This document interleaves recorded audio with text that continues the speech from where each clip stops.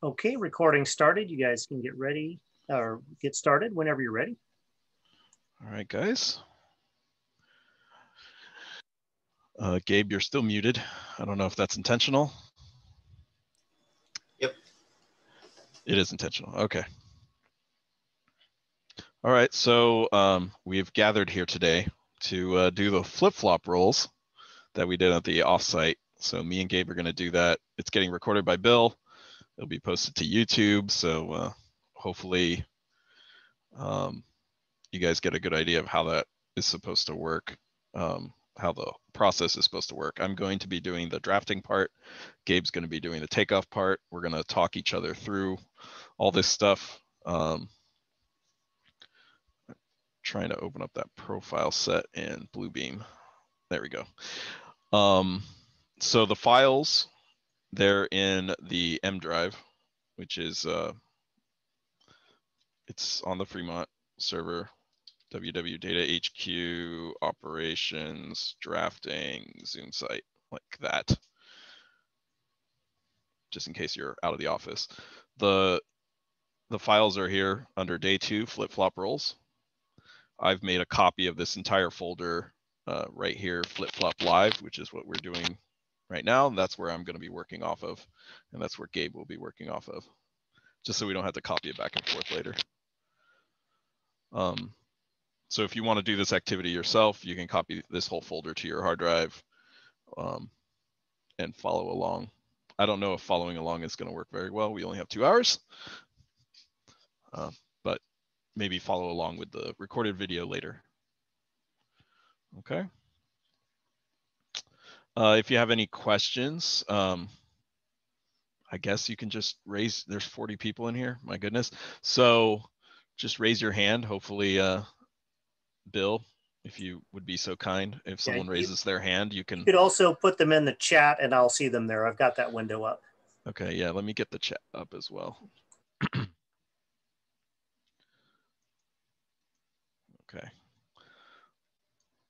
So yeah, put if you have any questions, raise your hand or or say something in chat and uh, we'll try and get to it if we see it. And if we don't see it, Bill, jump in. Cool. All right, so I've opened up, let me move my Bluebeam window over. Where did it go? Oh, it's hiding. It's hiding behind everything. Zoom, for some reason, is bigger than it is on top of everything else. So this is the elevation that we're going to be doing. It's a small little strip window. Um, strip window sill, mini Mac head.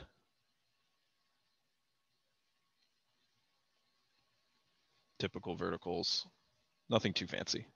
Okay, I'm gonna have this off um, off screen on my other monitor, so so you guys won't see it very often, but it's a pretty simple elevation.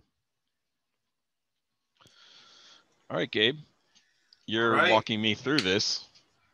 So yeah, like Zach said, we're going over the flip flop rules. Um, you know, everybody kind of went through the drafting part of it um, pretty pretty well, but um, we kind of want to just go over it for those of you that were getting stuck or you know didn't wasn't able to complete the process. So we'll be going it step by step. So um, we will go down the list, and I will direct Zach on the shop drawing part of it. Oh yeah, I didn't mention the instructions list. Yes, the instructions are there, which I have open. Okay, you have it open? Yeah. All right, so there's the instructions. This is the Revit template, which is what I have open in Revit right now, 2019. And then that profile set that I showed you in Bluebeam is this one here. All right. I think we're ready. All right, So, what do I do first, Gabe? like Zach said, he opened up that template and we are using Revit 2019. So we opened it up in Revit 2019. Um, that is kind of has some things already uh, put in there for you, like the details like Zach was showing. But what we need to do is recreate that elevation and put it on a sheet and you can see those details. There. All right. So we want to do first, um, the first step is to start with the provided Revit template. We did that. the second step is to create a wireframe wall. So once you have your project open, um, you go to level one in your project browser on the right. I'm gonna use my annotations so everybody uh, knows what, what I'm talking about. So right here, you have the floor plans level one, you double clicked on it, it's now bold. So that's uh, your project browser could be moved around. And I think by default, Revit has it over on their left side, but um, I don't know. I put mine on the right if I can get it back over here, just in case you're looking around for it. It could be somewhere else. So project browser level one. And this just lists everything that's in your project. Use at the top, sheets down below. Um, mm-hmm. And now we're in level one. This is your view window. So this is what where you'll be drawing. Um, the, the, cool thing with Revit 2019, it has tabs. So at the tabs, you see every view that you open. Um, that Zach opened is now a tab, and you can kind of just go between them. If you don't want it, you just hit a little X. But um, yeah, there you go. All right. So now the first thing we've got to do is create that wireframe wall. So to do that, um, once you're in this level uh, level one, you would go to the architecture tab and click on this wall on the left side. Um, if you hit the drop down, you'll see there's uh, different types of walls. You have architecture, structural, wall by face. Uh, we typically just use the art wall architectural. There's different properties associated with them. That's kind of why they're there. But we, for our case, we just use the architectural wall. And then um, once you have that selected, you would want to choose the WW wireframe in the properties. Um, as Zach is showing you, hit the drop-down menu. Um, there's different wall types. Um, and for our case, what we want to use is the WW wireframe, um, which should be created uh, in this template already. So you would select that, and um, you could put some options in if you want, but we're just gonna just create one and adjust them as we go. So once that's selected, um, Zach's gonna go to the view window and select uh, his starting point. Click somewhere, and you're gonna move your mouse to the left to create uh, the wall. And we need to know how big the wall we want to make. We can make it, you know, 20 feet for now and adjust it later if we don't know what size it's supposed to be. According to the PDF, it looks like it's 20 feet. So, all right, perfect. 20 feet is. There you go. And then um, once you uh, click twice, it's going to make the wall and then it's going to ask you, you still want to keep creating it? If you do, you can just keep clicking. If you don't, you can just hit escape twice.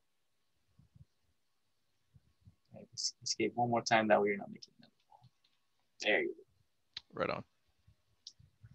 All right, so that is your first wall that we want to make. And we can adjust the size of, width if we made it something bigger. If you just click on it and you can see this temporary dimension you can change it to whatever you need to be. So 20 feet, 30 feet, it's gonna grow equally. feet, perfect. And then uh, we, could, we could also adjust the, um, the height, but we'll, we'll do that after this. Um, the next step is on the instructions is to load mullions. Um, what we need to do is to create uh, or look at that PDF and see which mullions we need to load in. So Zach brings over that PDF. All right. And we go to the details. Oops, too far. Oh, you...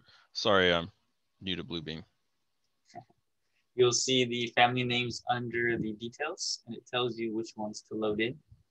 So you got uh, SW75, 1117X001 DL, or in our case, it'll be dash P. So we would need to get all of these and load them into the project. Um, typically, we'd have like a database that has them all stored, but in this case, there's only a couple, so we're gonna load them in kind of one by one. Okay. So if you go to back to Revit and you go to the WW modeling tab, there's this load mullions button. Uh, that will allow you to load in specific mullions that are in the on the server. So you can see that it opens up the profile area by default, and we'd have to uh, select the mullions we want to load in. So I'm just going to use my um, my PDF here. I'm going to have it off onto my other monitor and just pick all the ones that I want. Right? Is that the best way? Yep. All right, so I need this one. And one thing to note, the family name here says dash D because it's the detail family. The corresponding profile that you're going to pick is going to be the same thing dash P instead. So they're not quite the same, but they're identical in every other way. So I need that one. Do the uh, six one one six oh seven five. That one. Sometimes they don't have a dash P after it even. Must be an old one. Sounds a P075.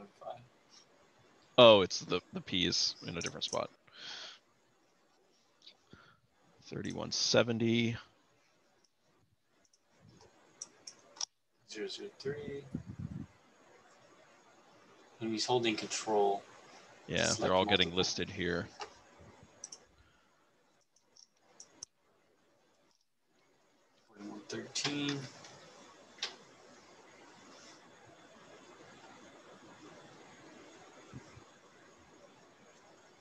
Yeah, and we noticed, you know, before, um, you know, we had to do this every time, so that's kind of why we created the uh, the load from the database because doing this could cause some errors if you pick the wrong one. You have to redo it. So, um, I'm showing you kind of a way you can just load one at a time or a couple. 56, 91, 008, and 92007. Yep. So I think I got them. And then the other jamb I picked.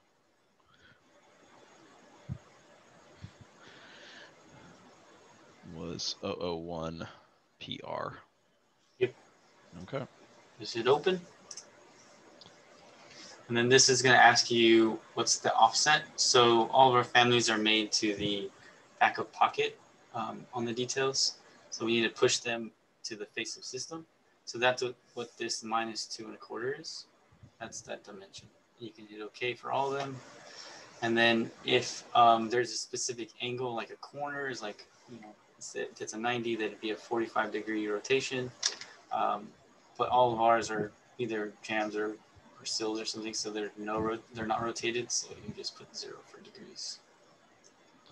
So if I had a corner, I'd probably have to run that command again and put in 90s and zero, right? Yeah, Yeah, you'd be 45 and minus 45.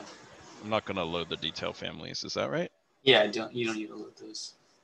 It, it's an option in case we uh, also need to put them on sheets, but we have all ours on sheets already. Now you see that it's upgrading them because they're 2017. And Nope, I got this on the other monitor. There you go. Successfully loaded seven mullions.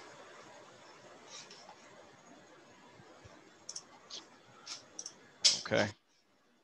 If you wanted to see those, they're in the families section of the project browser. And um, the profiles that we imported are listed under profiles here. And then that tool also makes the mullions that go with it. So under rectangle, curtain wall mullions, rectangular mullions, they're listed here.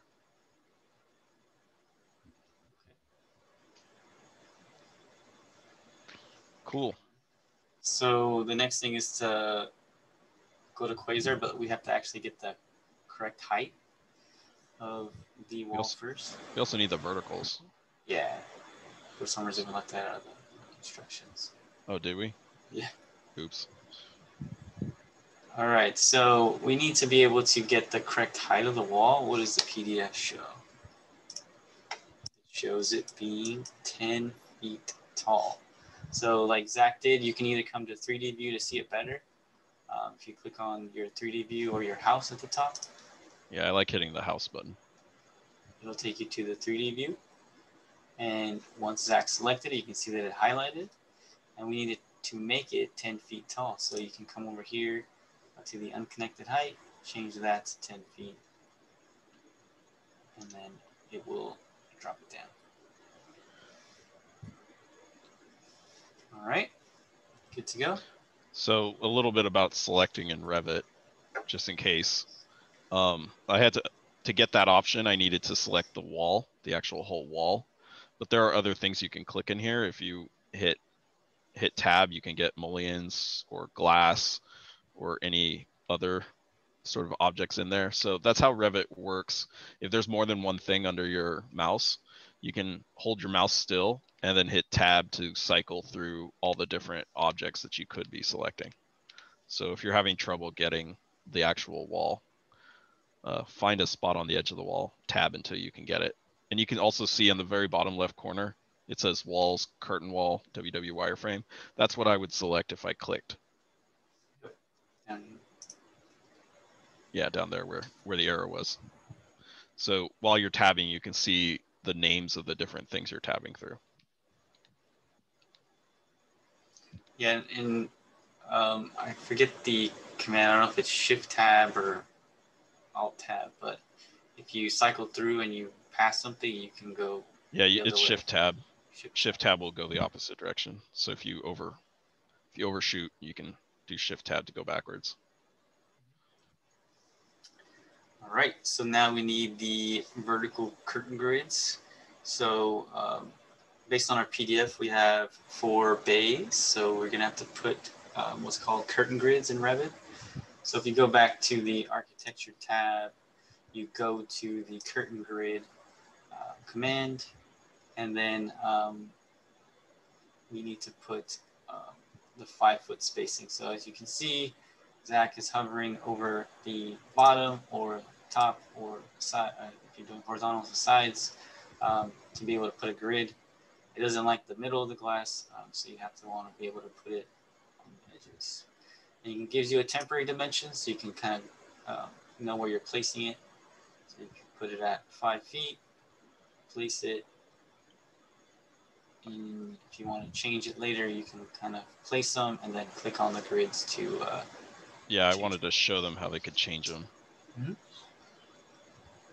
So this one here, if I select the grid line, again, you might have to tab to get to it. That's the grid line. Um, it shows me the temporary dimensions. This one's five foot and we have five foot bays everywhere. So this one's in a good spot. This one here, I made it four foot from the previous. So I can just click on this text here and put in five foot. If you just put in the number five, they will also treat it as feet. So unlike AutoCAD, if you just put in five, it'll treat it as five inches. Um, but in Revit, no units means feet. So now that's five. So this is a kind of common pattern in Revit. You always want to select the thing that you want to move or change first. And then you change whatever dimensions they give you or any other dimensions that you may have drawn yourself.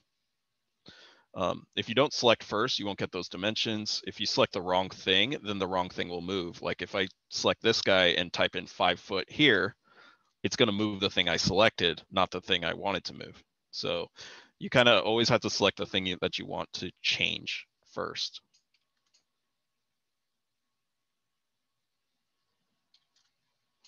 And now I got five foot everywhere.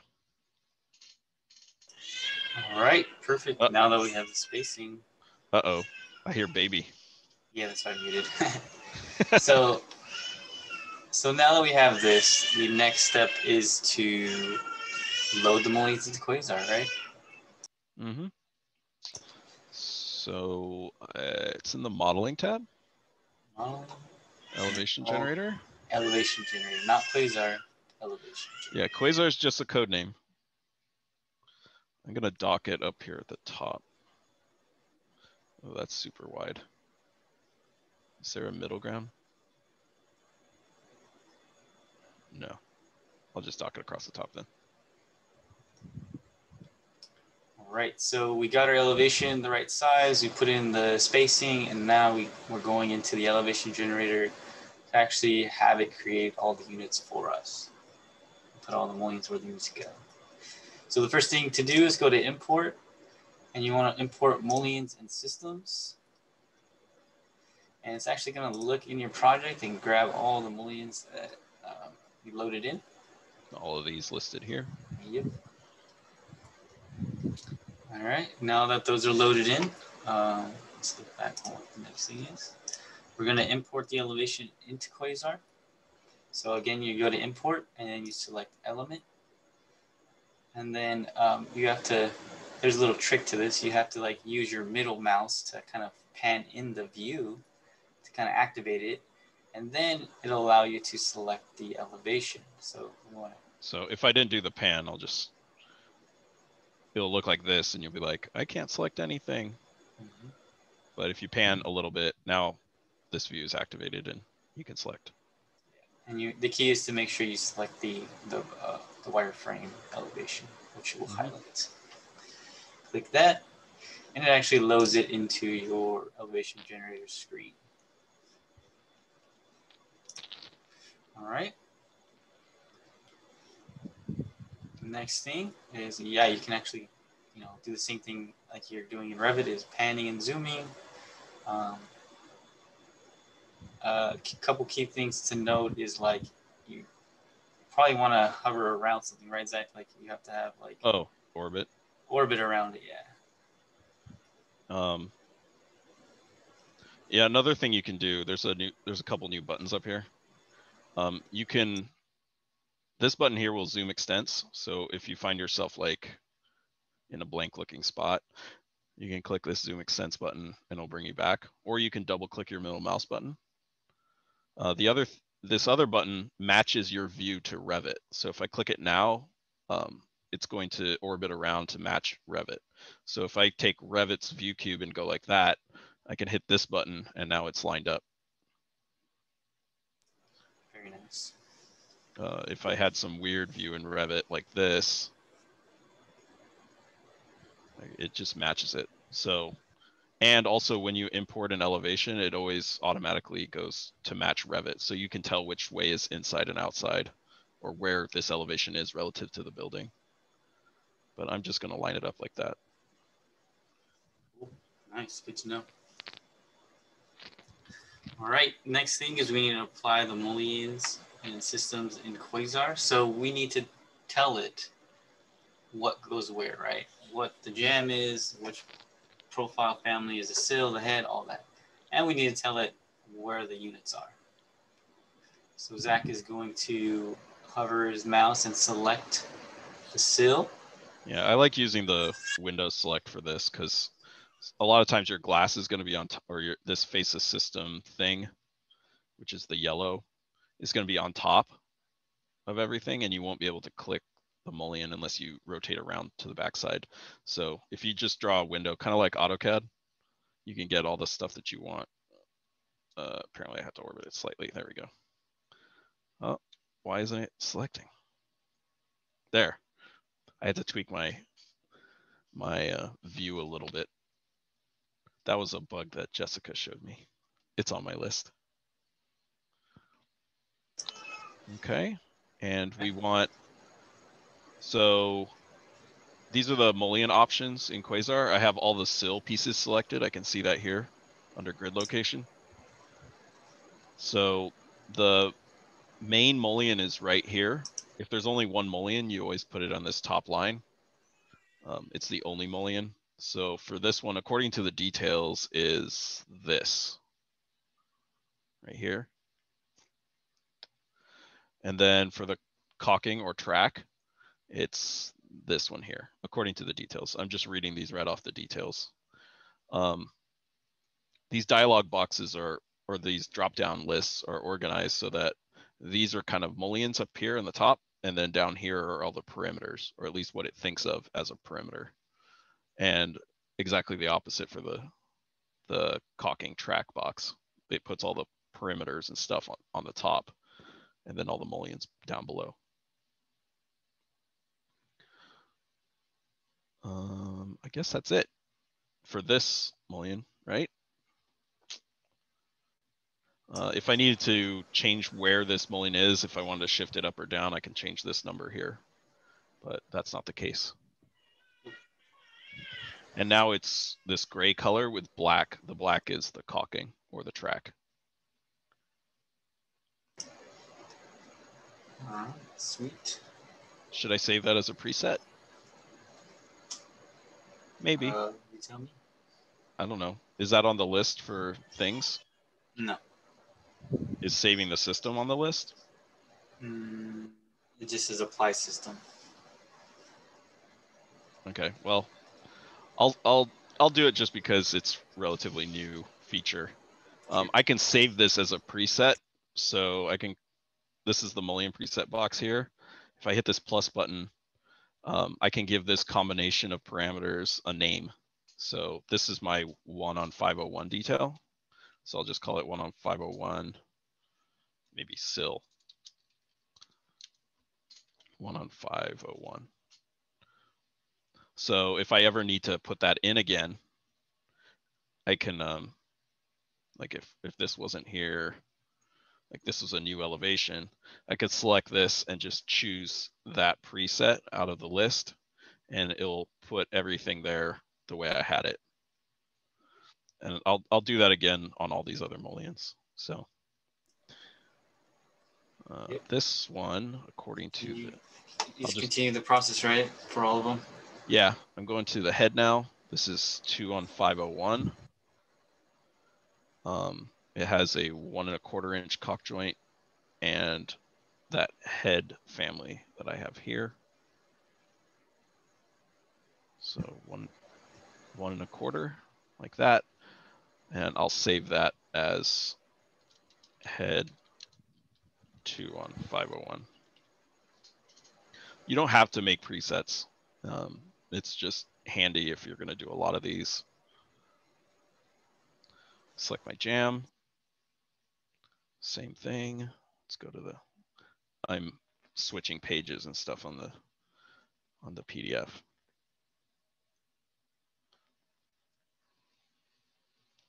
So this is 4113PL. And the caulk joint is one and a quarter. Again. Just like that. No offsets needed. I'll save this as jamb left. One on 551.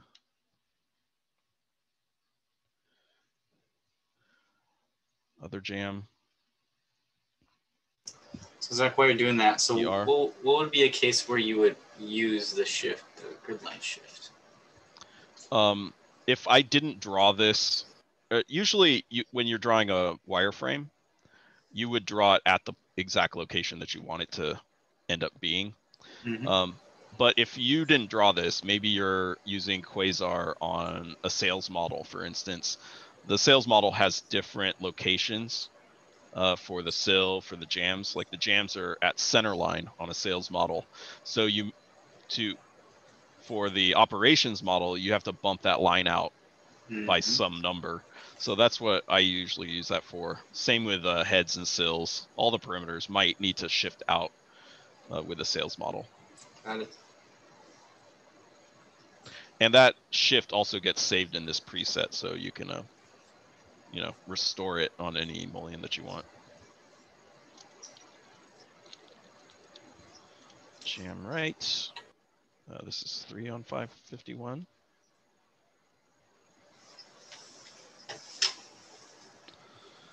Um, it won't let you right now. There's another bug with this preset thing. If any one of these is blank, like if this one was blank, it wouldn't let me do a save a preset. So, um, and that happens like at stack joints, that kind of thing. So I need to fix that.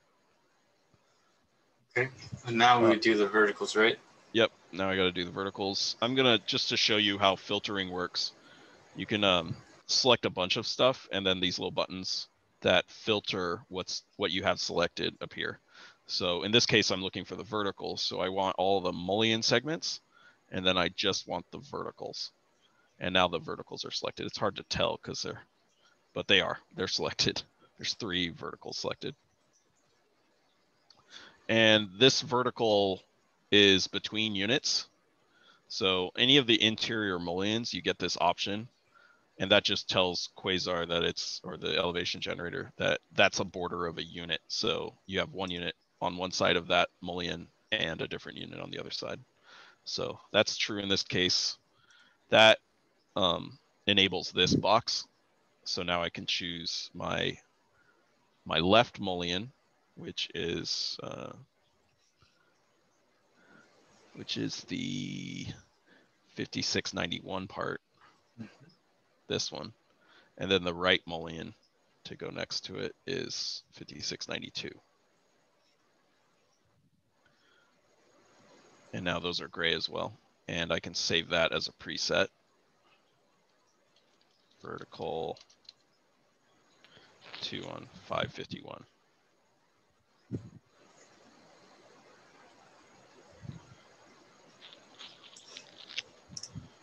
think I've got everything in here. There's also this FACES system. It has some options. You can flip it so that when it when it makes the uh, when it makes the elevation in Revit again, it's going to be reversed.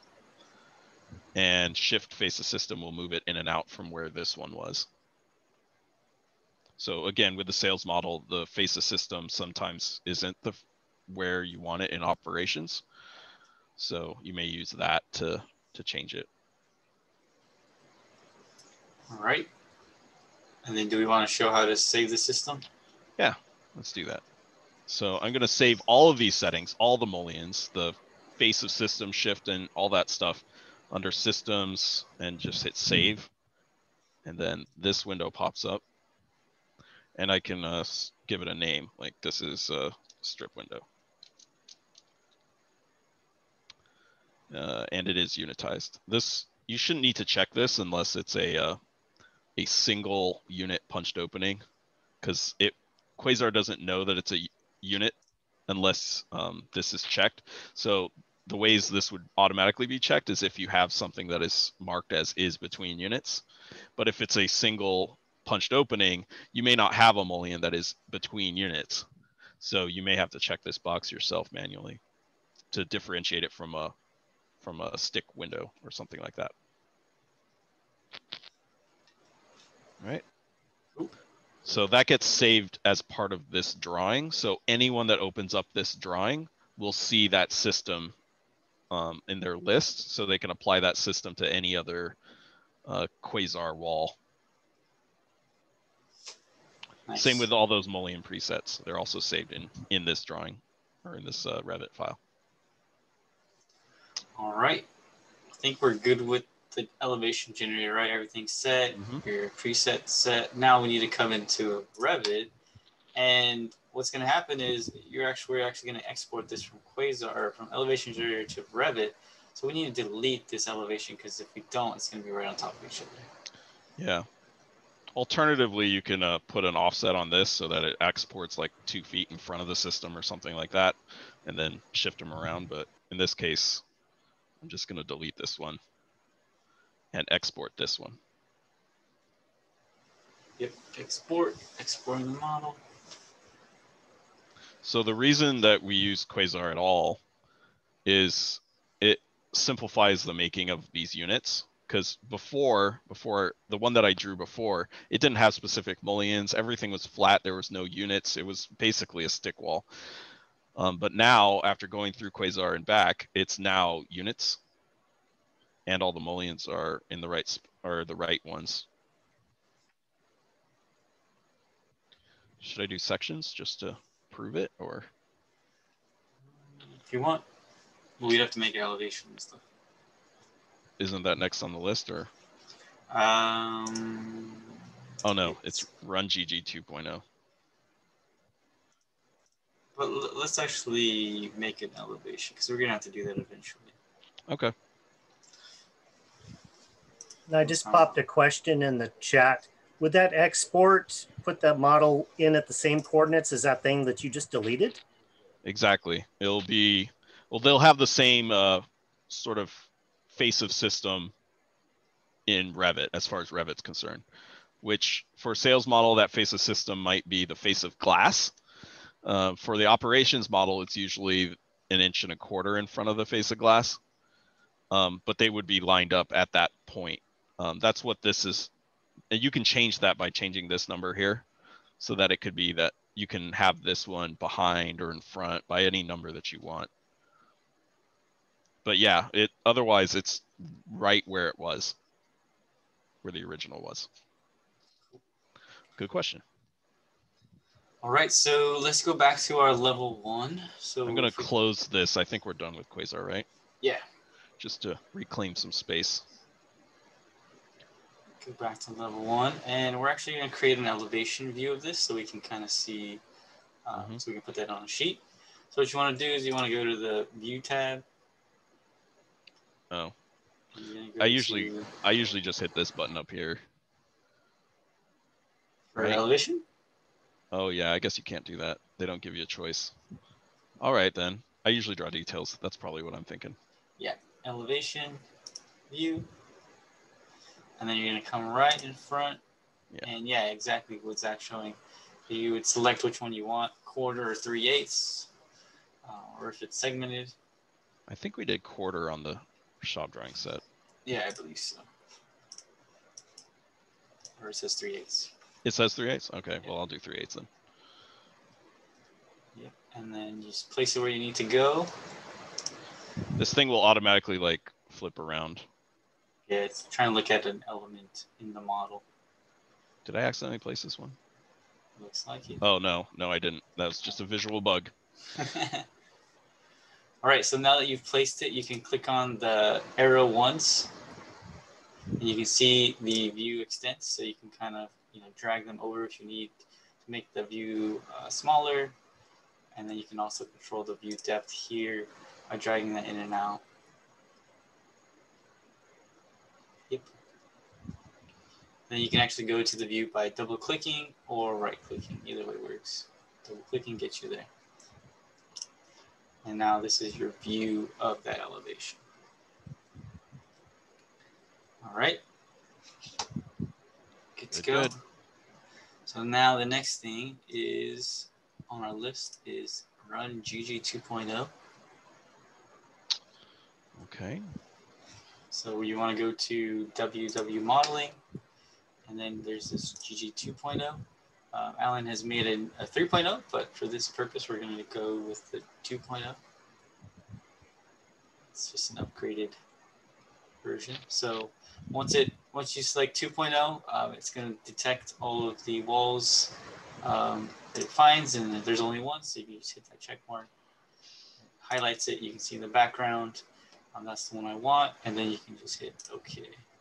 So it's detecting which um, elevation it's picking up, and it's actually looking at all the profiles on each piece of glass, um, and looking at the database and putting all the data that it finds for each of these profiles in there.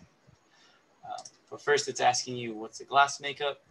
Our typical is quarter, half, quarter, with a one inch offset from the face of system and a quarter inch ceiling um, interior width. Your glass makeup is different, you can modify this and it'll modify the family, uh, the glass in your project. But if that's all good, you can just hit OK. And now it's grabbing all the data from the database and then it's putting all the values for the offsets, the bites um, on each of the, uh, the glass for each of those openings. So now it tells you that it's successfully loaded for lights. Now, You'll notice once I done that, um, oh, they're still yellow. yeah, we haven't put the glass type yet. Yeah, once we put the glass types, they'll be blue. So uh, a good thing to do is to check it. So like you were talking about earlier, Zach, is that we take a live cut. So Yeah. now you can use your your section button. Yeah, I like this section button. This is how you draw details. Yep. So if you're that. inspecting inspecting a model, you can just click that little button there and then you choose which detail you want. You usually don't want a section view. You usually want details full. Yep, and then you can go bottom to top or right to left. It doesn't matter. We'll look at this section first. Okay. Um, this controls how far. So if you want to see that vertical, you can pull it out there. I don't really want to see the vertical, so I'll leave it there. Double click on it, and then if you zoom into the sill, you can see that we have our detail. That's the detail that looks exactly like we have in the profile set. Does have a border around it, um, probably from CAD, but um, you can Yeah, see that's the probably the CAD detail. yeah. This is the correct glass with the gaskets and setting blocks. So if I did this before I did GG 2.0, you would see possibly incorrect bite, gasket, or block right here. But since I ran it, it, they're all set according to our standards in the database. And then you have your head. All right. Okay, that's that one. And you can also check it going left to right, right to left, in the way. Yeah, if this thing isn't going in the right direction, there's a little blue button up here with two arrows or somewhere nearby. So you can flip the detail to make it look the other direction. Yep. I hmm. kind of got lucky and didn't even have to use that. Maybe it's because I drew it right to left or something. Yep. And then you would check your mullions, check your joints. That's one of the big things uh, from Yana is make sure your joints match the detail. So inch and a quarter. It's just a plug for Yana to check your joints. All right. You must be on our Glass is good. payroll. Glass looks good. Gaskets are good. Everything looks good. There you go. All right, so it looks like we're good there. Okay, I'm gonna delete these bubbles. Yep, go for it. Not 100% necessary since they won't print either way, but All right, next thing we got to do is create uh, what we're calling a global parameter for the glass types. You don't have to do this part. It's just, I mean, it's good if you have a uh, to do a lot of glass types because it saves you from opening that materials um, page every time or dialog box. So what we're gonna do here um, now is create. Um, we'll put in a gla- one glass type first, and then we'll make the global parameter. So what you want to do is select the glass. So you can either do it from this view or 3D view, doesn't matter. Um, and like we said earlier, you have to tab into it. So you can see now that exact tab, it says WW glass standard. That's the one you want to select. So if you click on it, um, we want to designate the glazing material. So which material is this going to be? And for our Type- case, type one. it's going to be a yeah vision type one so if you click on in there you see these three little dots and that will allow you to um, open up the materials and then if you scroll all the way down there's these ww vision 1 um, glass type and the key thing here is we need to make sure that the glass parameter is set so you click that button it says 1 if it doesn't, the takeoff program won't read it. So make sure you, if you ever have to duplicate it, you also fill in this parameter. You can also change the color for whatever reason if you want to change it, and also the transparency. But we're going to leave it all for now and just hit OK. So now I just assigned this glass type to just this piece of glass. So now, like you said, Zach, if you go back to the 3D view, you can see that it changed colors. Perfect. Sweet. So uh, we can do that. We can select all the glass and do the same thing.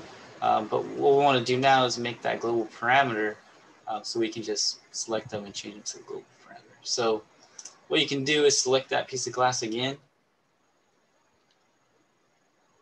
And then you see now this button here to the right of it, that's the associate global parameter.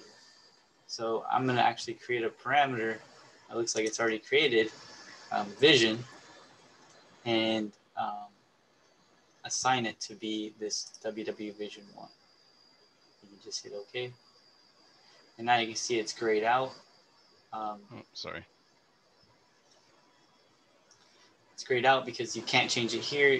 It's associated to the global parameter. So if you change the global parameter, all the instances that um, have it associated will be changed. So now I just have to put it on all these other ones. Yep. So you can either do a right click, select all instances in view, or um, a select panels on host, or it just depends on what you want to select. And you just click that associate parameter, change division, and just hit OK. Again, you don't have to make the parameter. It's just a it's just a fast way to uh, to do it. All right, set the glass material. Let's go back to our level or our elevation view. We're going to create a level two datum. Okay. So a couple ways to do this. You could go to architecture and go to level. Um, but an easier way to do it is since we already have level one, we can just copy this level one up and copy it up 15 feet. So if you select it, hit this copy button. Oh, fancy. And then you, you just give it a base point. You can just select somewhere, anywhere, Yeah. just go up 15 feet. 15? I think that's what it was. Yeah, 15. Yeah, it's 15. And for some reason, it's calling it level five. We can just click on that in the, yeah, and just change that to level two. There you go. All right. Now that we have the level, we want to dimension our elevation. So um, we want to be able to add dimensions to it. So once we're in the elevation view, go to WW modeling. And you're going to use this CWDT button. It's going to dimension the curtain wall that we select. So again, if you select it, it's going to have another dialog box similar to the GG 2.0.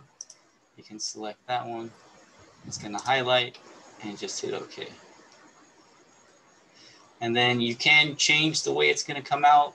You can add, you know, an angle there's a return, but we're just going to keep everything by default and just dimension based on the elevation view. So you just hit finish. And well, bam. Dimensions. Whoa, bam. Well, bam. So um, at this point, you, you can you know make it look a little cleaner. So you can click on the levels and drag them out and do what you need to do. Grab them out with this thing. Uh, there's a one here. Oh, there is. Oh, I see.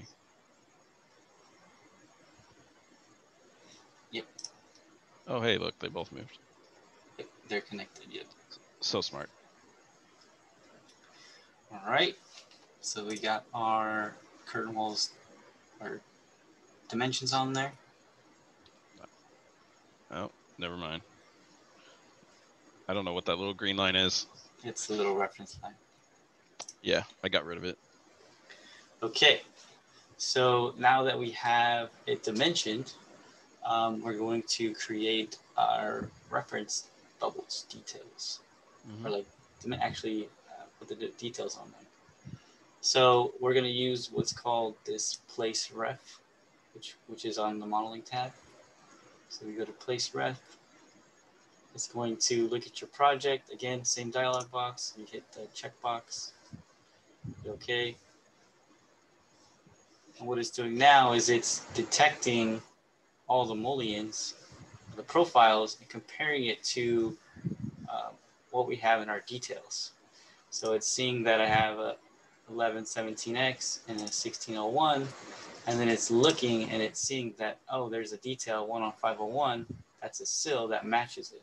So if you click on it, you can see that little preview of it, and that's this is what's in the drafting view. This is this is perfect. This is our detail, and you you can change the orientation of where you want the bubble to be, top or bottom. Typically, it, it'll tell you the right one, um, and then you just hit this place,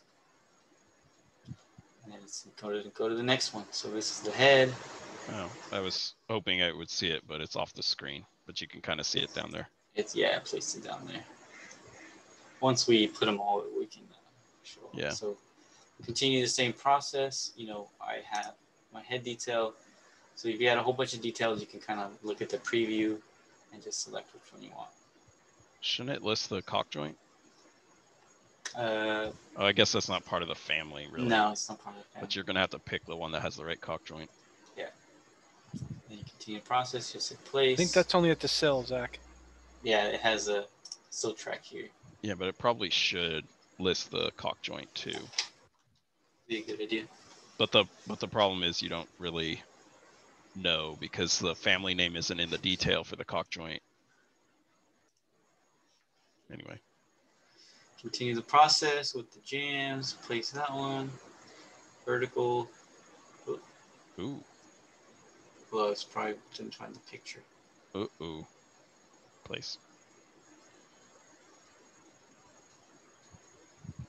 And there you go. So now it's all placed. You can probably bring this one up a little bit. Huh?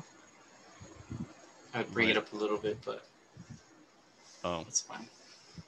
what like this? It's not moving. There it goes. Like that? Oh, oh, this thing here. Yeah, there you Yeah, go. it's a little bit off. That's just me being picky, but right. So that's the place ref. You can also place one. Um, if you go back to uh, WW modeling and then hit this place one ref, you can, you know, select mullion that um, you just want to place it on one of them.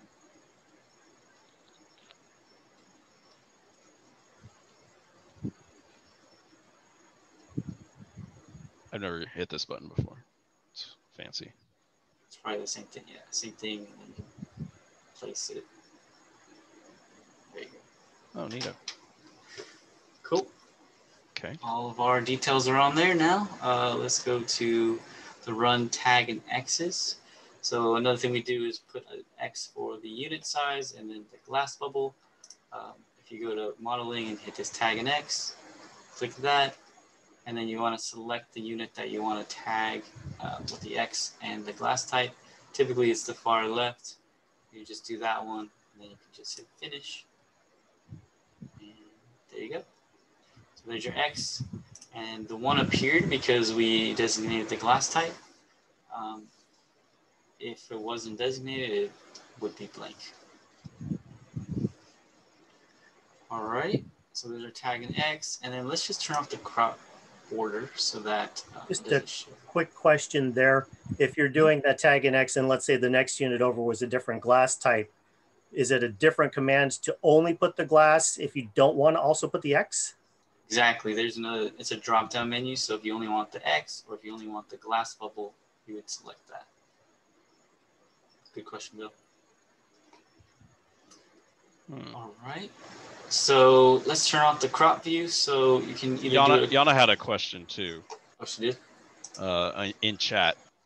She says it seems the export of needed profiles could be improved. Doing it one by one and looking at profile PDFs seems tedious.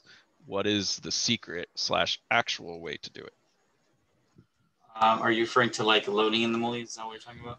Yeah. So I think there's a there's this load mullions database which works off the gen notes that that Esli creates for the profile set. So I think when you click this, it just asks you for the gen notes database. Yes. Gen notes database, and then it loads in all those. So Correct. that's that's the secret way. That's the secret. way. Yeah. All right. So let's get rid of this crop border. So you can either click this down here, which is a little light bulb by a crop view, or you can select Oh. Vis- visible here. Either one. Oh. I always did this. That's Either cool. one. I didn't know about that button down there. Now it turns it off. And the last couple things are to place this on a sheet. So um, what we need to do is go to our sheet. It's already made here, uh, 201 elevation. Double click that. And then we need to drag in our elevation. So this is located in the elevation 3/8 section. Grab it, drag it over, and then it places that on the sheet. You see that it's still big, so you could um, move that closer if you needed to. Oh. And this border depends on the crop view, so you could have we could have made the crop view a little smaller, and then it would have made it. Uh, yeah, let's do that.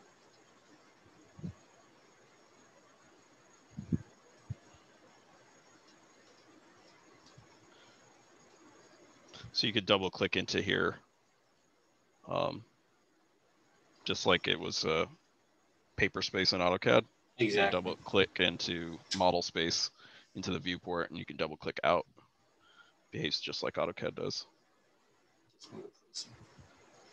And then um, for elevations, uh, if you click on it, um, the view once, you would change this from WW viewport to WW elevation.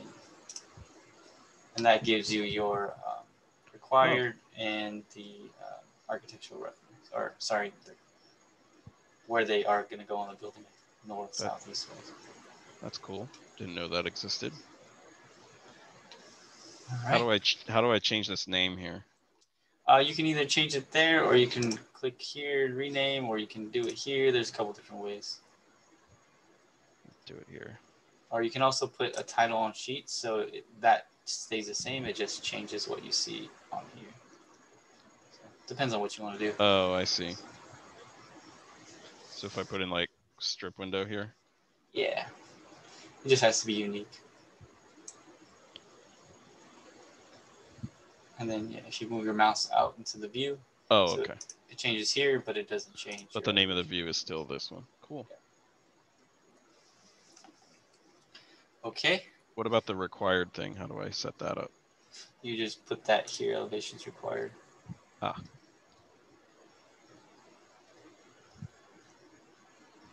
And same thing with the arc ref.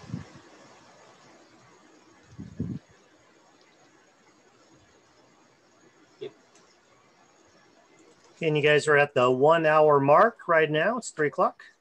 All right, I think we got one more thing to set the elevation number, and then we'll Mhm. skip the checking and we'll skip the printing. But uh, the last thing to do to get this ready for takeoff is to make sure it has an elevation number. So if you go to, let's just do it in 3D. Okay. So um, we need to be able to set the elevation number for each of the elevations. So if you click on the uh, wall, there's a parameter under data uh, called uh, elevation. So we need to be able to identify what elevation this is. Um, if it's a single digit, you want to make sure you put a 01, like a zero in front of it, 01, 02, 03, and then um, all the way to 10 so on and so forth. So now that the elevation number is assigned, you would then check it. We're not going to show you that process, but um, you check it and then you would, in our case, since we only have one, we would print, uh, print using Shopline. Yeah. All right. Does anyone want to see those processes? Or are we okay just skipping those? I think we're probably okay. Any questions while I? Yana has a note in the chat. Make sure it is zero one zero two, not one and two. Mhm. I'm saving this Revit file right now, Gabe, so Yeah, I'm opening mine so I can open it.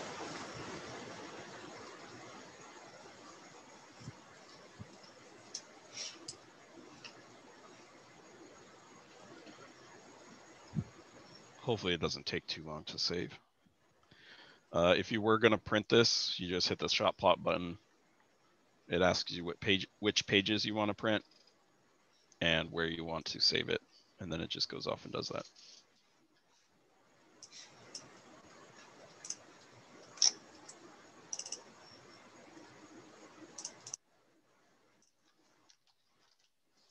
All right. Any questions? You think everybody's good on that part? Just repeat the process for every elevation. It's still saving. Okay, there it goes. All right, so I'll close this, Gabe, and stop sharing. So you can do the takeoff. That was easy, Gabe. Thanks. Yeah, no problem. Anytime. The power of teamwork. This is the one you made, right, Zach? You just saved over it. Yeah, yeah, I just saved over it. I didn't give it any name.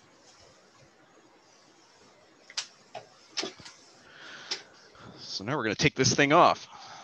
And I I think a lot of people are interested in this part because you know a lot of people didn't have a, a lot of time to go over it. So Yeah, we may also run out of time, but we'll see.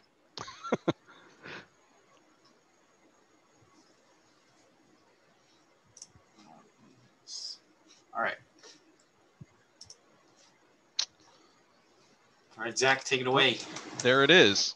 Right on. Okay, so for takeoff steps, uh, the first step is to open the takeoff program. Looks like you already have that. Yes. So let me show everybody my daughter, and then I'll show you the takeoff 2016. So that's here. I just double clicked it and it opened it up. All right. And then um, we'll want to create a new database. So go back to your takeoff program. Okay. And then in the very upper right, let me get my annotations going too. Arrow, just like you. Why isn't it drawing anything?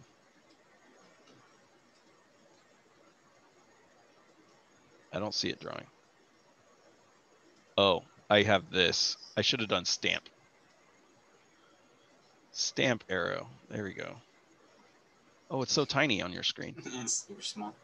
How do I change that? I don't know. Create new project. Oh, there we go. That's a little better. Yeah, create new project. And then um, usually this goes into the drafting takeoff folder. So, but of course on this, we're working off of the, uh, the M drive. So go to where this Revit file is. We'll want to put it in that same folder. Operations. drafting. Zoom site. Flip flop live. Uh, oh, I guess we don't have that folder structure. So we'll just put it right in here. There's already a units folder in here. That's suspicious. But let's let's make a takeoff folder. Yeah. I don't know, maybe these were someone added those in or something.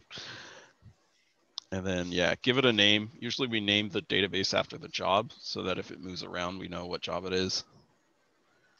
Um, you can just call it flip flop and hit save. Save.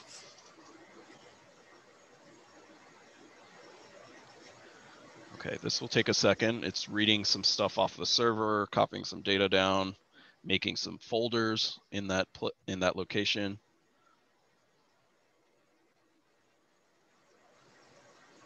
But when it's done, um, it will say up here at the top of the takeoff program, new job. Or something like that. Maybe I should saved it to my desktop. It'll be fine.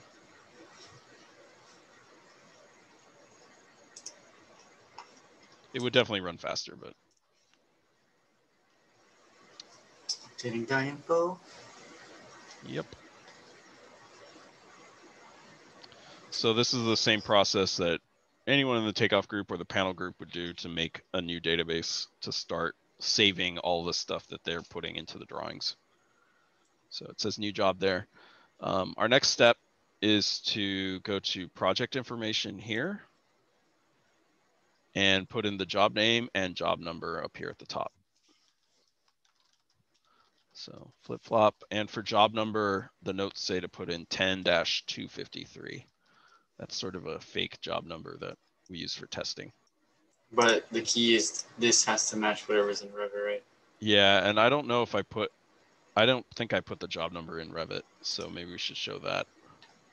I think If it's not already there. in. Let me just make this bigger. So if you go to manage project information, and you can see that Yeah. it's already there. So this has to match what the takeoff program is showing.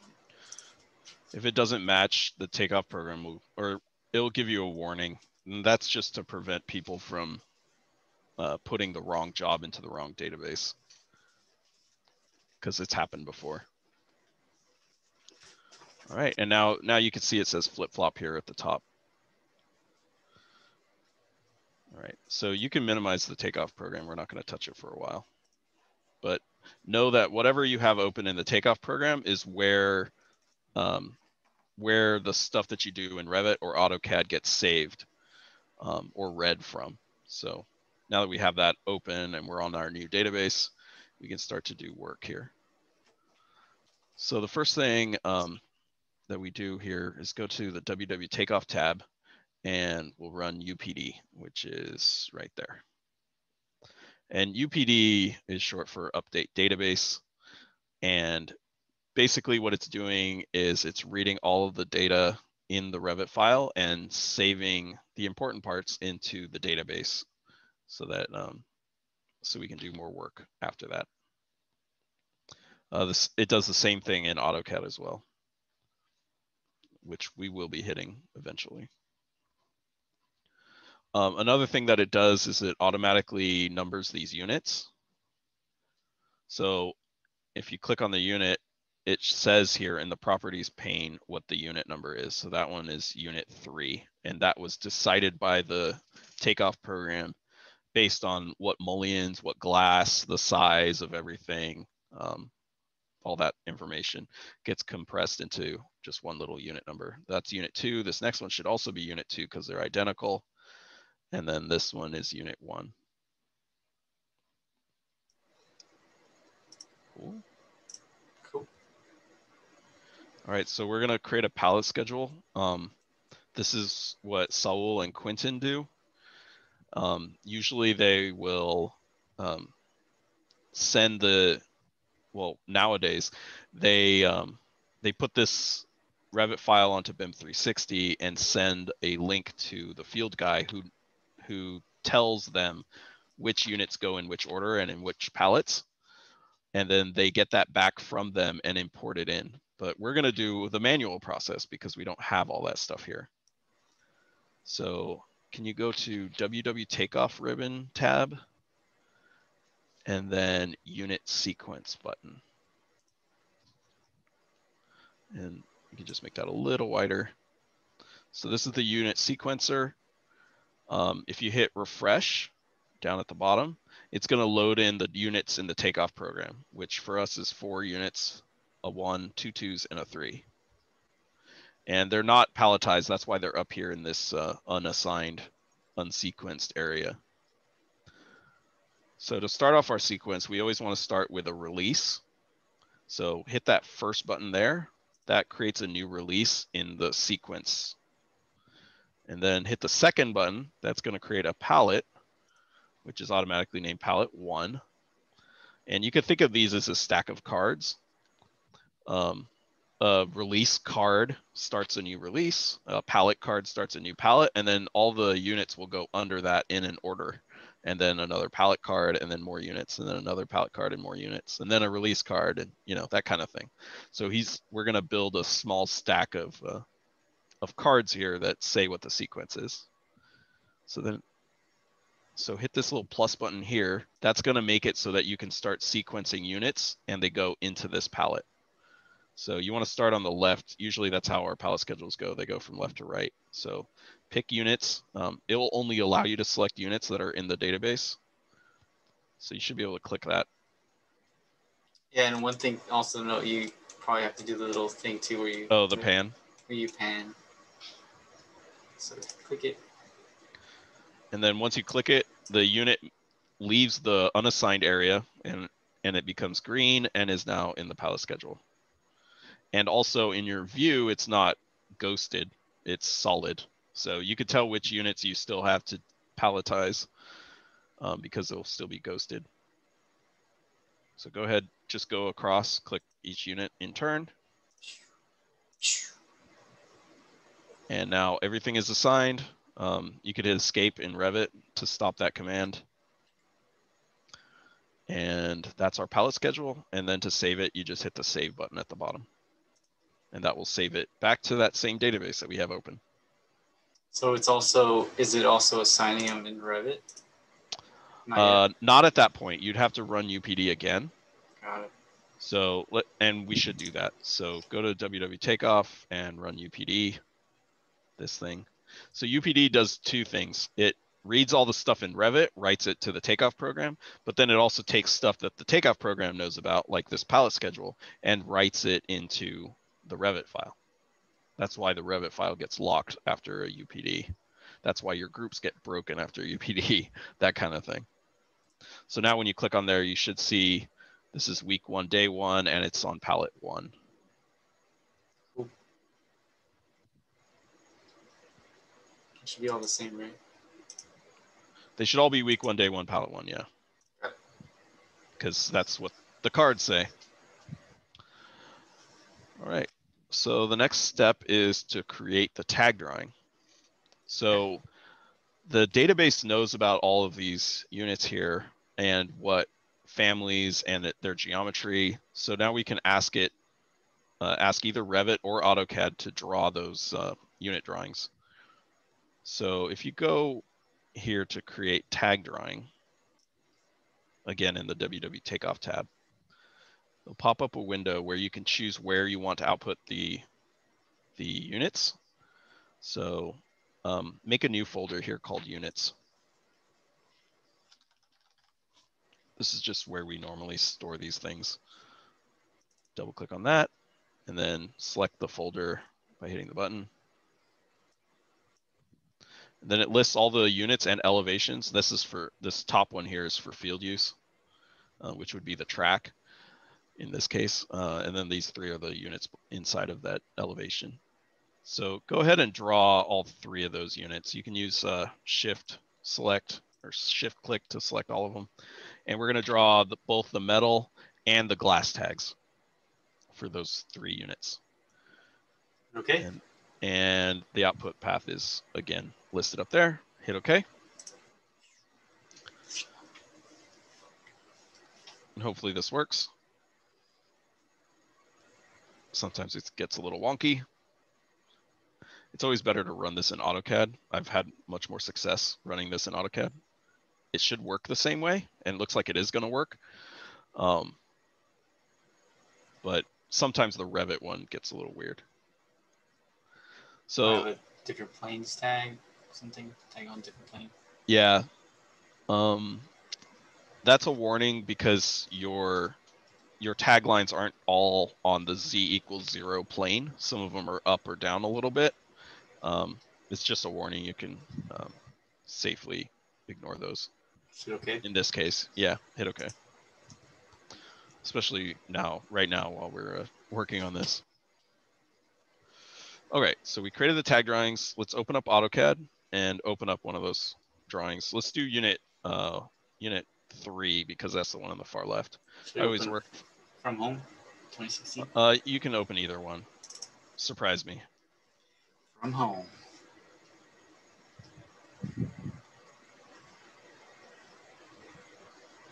Hopefully your S drive is relatively up to date. Yeah, good question. That is a good question. Maybe you should do the other one, just in case. The other one? Yeah, let's do the other one just in case. In case your S drive isn't fully up to date. So we get all the, as Pedro would say, latest and greatest stuff that he's made. So this is another plug. Make sure your S drive is up to date. Everyone. Yeah, there's um you don't have it on your computer or you don't have a link to it. Maybe I should sh- show you guys how to do that. So if you're using the from home AutoCAD, you're you're using a copy, a very shallow, incomplete copy of the S drive that is on your hard drive. And it does not get updated automatically. So as things change on the S drive, like details get updated or whatever, um, you won't have them. So you won't see them in the parts library. You won't see them anywhere. So if you need to update that, um, you need to connect to VPN first of all. Make sure S drive is connected, and then yeah, open get your file browser up here. Go to S drive. Um, scroll down to WWOpt right here. And then if you scroll down again, there's one called S Drive Sync 2016 or 2020, depending on which AutoCAD version you have. Um, he's not going to do it now because it's going to take a while. Yes. But um, you would run that if you have if there's if it's been a while, this thing could take an hour, two hours, depending on your internet connection. Uh, it could be 15 minutes. Uh, if you've done it before and not very many files have changed, then it, it goes relatively fast, but that's how you update your local S drive, which is what your from home AutoCAD uses when it goes to the parts library. So that's probably uh, important for for uh, Jumpstart mostly and the takeoff group because the fabs come from there. All right, you said open the units. Yeah. All right. Did you go in the right folder? You are in the right folder. You are on DWGs. Can you browse there? Where did those units go?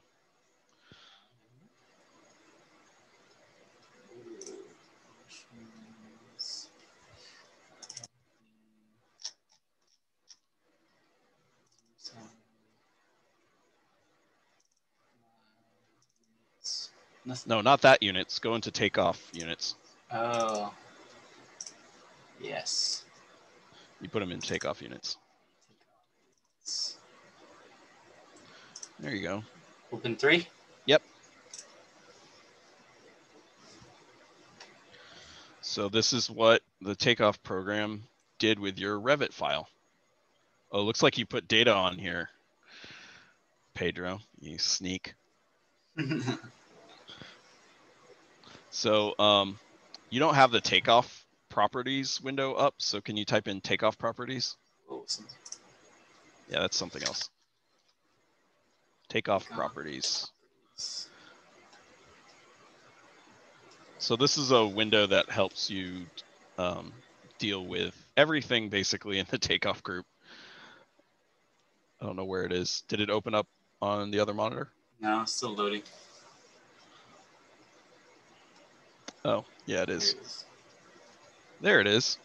So it tells you this is unit three, and these are all your taglines that um, that were created when we ran the create tag drawings or create create unit drawings function in Revit. Okay. Uh, if you go to model space, you can uh, click on some of these tags just as a quick little go through. If you click on a line there, it well, that's the glass. But if you click on one of the mullions, it highlights over here which one you clicked on. And vice versa. If you click on a line item in the thing, it should highlight in AutoCAD. Yeah. It's hard to see in this at this resolution. Yeah. All right. So our first step, according to the uh, according to the list here, is to name the details in the UD window.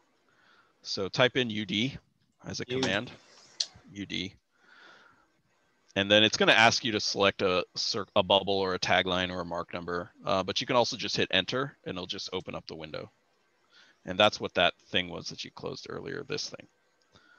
Um, just to make sure we're all up to date, hit this refresh button Sure. and that will download everything off. You sure?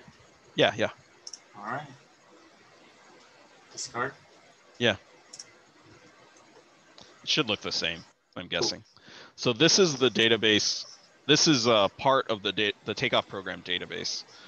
Um, it already has the mullions that we got from Revit listed here. This all came off of the server and it was all pre-made by by uh, Pedro and checked by Joe.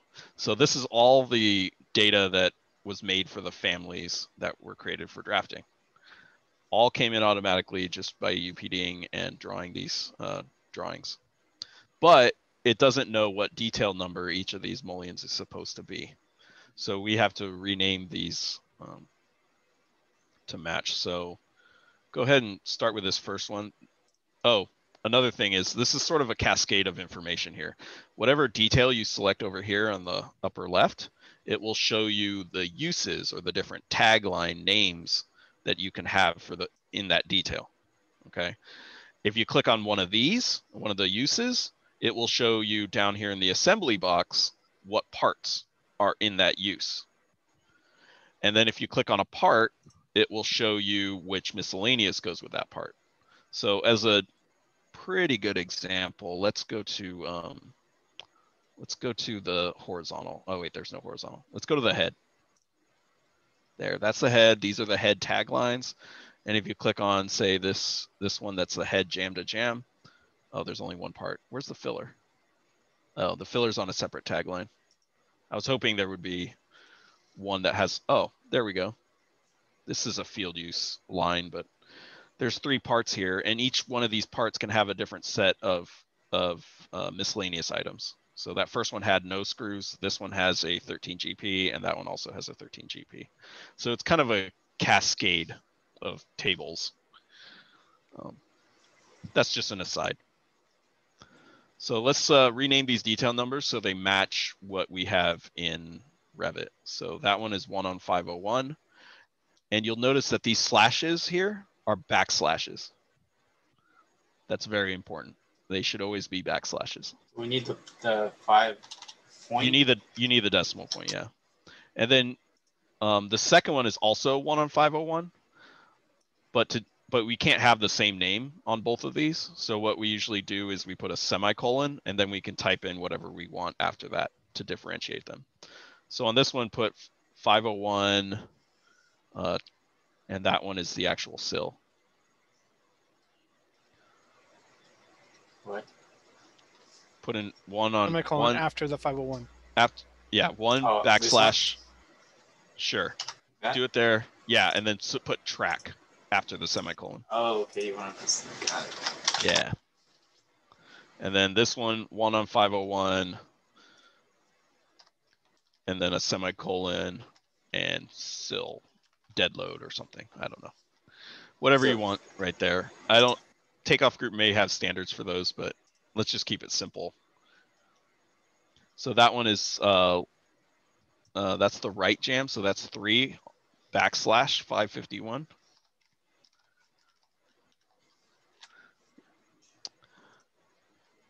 And you could put something, a semicolon there too, if you wanted to make it a little easier to read. That one's the head, so that's two on 501.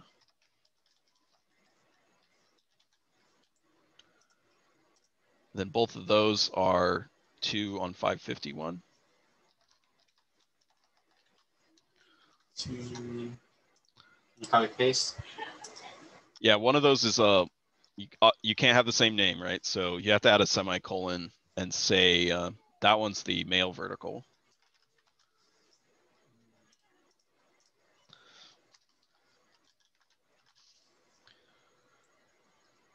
Perfect. And then this one's one on 551. We're just translating what Revit family name goes to which Mhm. detail. Exactly. Got it. So that they have names. So now, um, yeah. Okay, so click off of that one that you have there and then hit this apply button. And the apply button will save those changes to the database. one.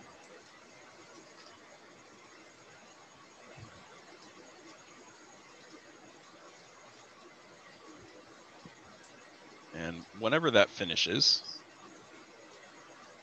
our database is on the network.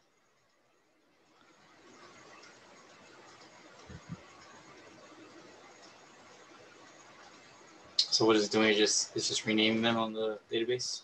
Yeah. Yeah, basically. Where'd your mouse go? Oh. It's it's pushing it to the database and then rereading the database. Yeah, I just got one. Something populated in here. Yeah, something popped up there. That's a little weird.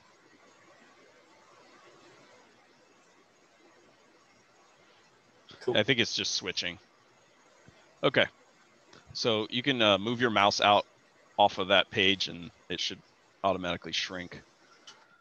Um, so now go to Paperspace. And what we're going to do is we're going to ask it to redraw all these taglines. And now that we have detailed numbers on everything, it will automatically draw our detail bubbles for this unit drawing. Okay. So we'll go to WW Takeoff up there at the top. and do this draw all tags button. Um, because you're already in the unit drawing, it just assumes that you want to redraw all the tags for this drawing for this unit three. So yes, delete existing metal and glass tags and draw new ones. It's going to redraw it. And hopefully if we did everything right, there would be detail bubbles or not. There isn't. Oh, okay. So, block's not assigned. so yeah, exactly. So looking at this uh, left side here on the takeoff properties window, you can see that all those detail numbers that we typed in are are listed here and they've been applied to our taglines. But this one down here at the bottom, which is the setting block. Setting block. So we need to add a detail for this setting block. Okay. So, you have to go back here. Yeah, go to the UD window. Um, the Revit resource. What is the Revit resource? It's You that can name, grab it isn't from ACAD parts. Yeah. Oh, we can grab it from ACAD parts. Yeah, that Let's- one I don't know why it doesn't come in, but it's it's on the server. Do we want to grab it from ACAD parts? Okay, let's grab it from ACAD parts. So type in the ACAD parts command in AutoCAD. So this this command will bring up a very similar window to the one you just saw, except it's not using your database, it's using the server. So you can see all the data that's been made for every family ever. And I don't know how long it's going to take to open. That's why I was a little hesitant. So why didn't it come in?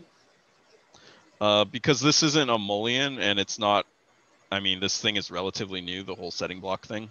Hmm. So it hasn't been updated to pull those in. For now, couldn't you just delete the tag off the elevation on the unit and then We run c- it again? Well, this gets drawn automatically. So I, I'm trying to get get the detail bubbles, so I need to draw it. Okay, so you probably want to organize this by Revit resource, so click on the top. And then scroll down. What's the Revit resource? It's right above. It's a it's just setting block. Right there. So oh, just sweet. look for the one you need. So we're doing 280. Two eighty-six inches. Yeah. So copy that whole line. So you'll have to click over here, right click, and then copy. And then you can go to your actual database window. Paste Select it. over here, right click, paste. There you go. Hit apply again to save it. And the program doesn't let us use Control C, Control V for the Yeah. specific table. So you have to right click, copy, right click, paste. Mm-hmm. You can Close close. Yeah, you can close that. I don't think we'll need it anymore. I hope And we then- won't. Okay, so draw all tags again. So it doesn't update. Oh wait, wait, wait. We need to uh, give that thing a detail number. Sorry. Right now it's called that thing, so we want to change that to, I don't know. Usually we uh, Semicolon SB, really setting Okay. block. Well, I mean, one on One. 501. one backslash five hundred one. Sorry, Gabe. It's all good. Good. Yep. Hit Apply. apply. Can't hit apply right now because you're still in that box. There. Now you can hit apply. Okay. Saving much quicker now. Now draw all tags again. So it doesn't update, right? No, uh, it only updates when you run this draw all tags. Or you can double click on this thing and change it manually, but we want it to come in auto come in through draw tags because draw tags will draw the actual detail bubbles if everything has a name. There you go. It drew two of these uh, sill ones because uh, because of the setting block tag. So you can erase one of those detail bubbles. Here. Yeah. It's just an auto. It's just an AutoCAD object. Perfect. So now we have detail bubbles. All right, now we're on step eight. We're gonna UPD this thing into the database. This is where all the magic happens. So there is a UPD button here. up there, update database, but usually I just type it out. So go ahead and hit that UPD. So just like in Revit, it's analyzing this drawing, writing a bunch of stuff to the takeoff program, and then generating stuff on this uh, drawing as well.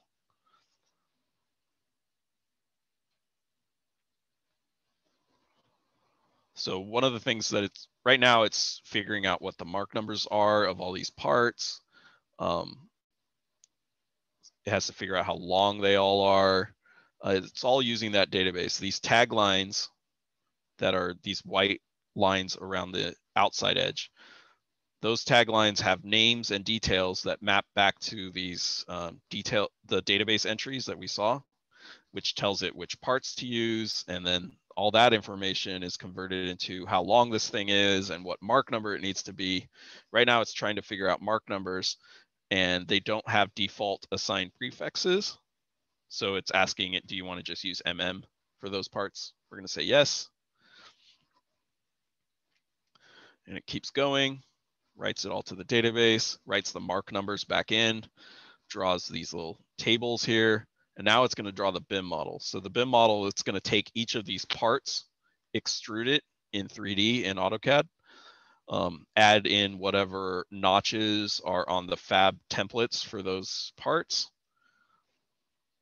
And I'm saying it faster than it's actually doing it because we're working off the server.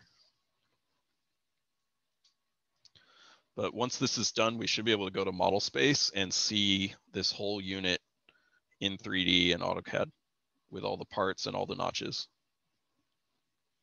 based on what we got off of the server automatically. So far, that right vertical is not populating a mark Yep. number. There's no mark number there. So there's something we're going to have to investigate. Because there is a vert tagline there. But it probably just doesn't know what to do with that particular vertical with this particular sill and this particular head. And that's probably why it's blank. Now, this is searching the server for die pictures. So that's one of the reasons this is taking a bit. It's copying fab templates and from the server and putting them in your your uh, fabs folder. Um, Well, that's working. If you want, uh, Catan has a question in the chat. oh, I didn't see that. So Catan said, this is for the video. That's why I'm reading it out loud. Uh, entering details in takeoff windows. Can we drop down menu of related details of profile from Revit model? What if we can publish detail number database from Revit model and use it in takeoff browser? Uh, it could definitely be done. Um, we didn't have all of those names in there before. Um, and this also, this tool came from AutoCAD. So that obviously was didn't exist in AutoCAD, but there could be some shortcuts like that built in. Um, because I mean, Alan's tool is figuring out which uh, families are in which details. Uh, this could certainly do the same thing.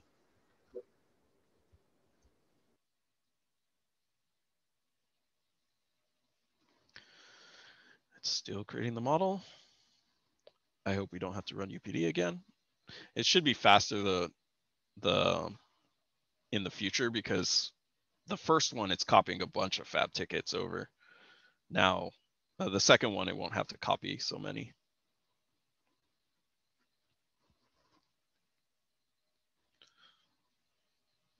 And it's searching in multiple folders for these things if it's not finding it. Then once all those come in, what are your steps to start investigating why that right vertical mark number is not showing up on your unit drawing? Um, well, because there is no vertical, uh, no mark number there, um, I would go to the UD window and see what data that thing is actually trying to be. Like what what's the data behind it? Is the data blank? Um, is there a use missing? Uh, what's the deal?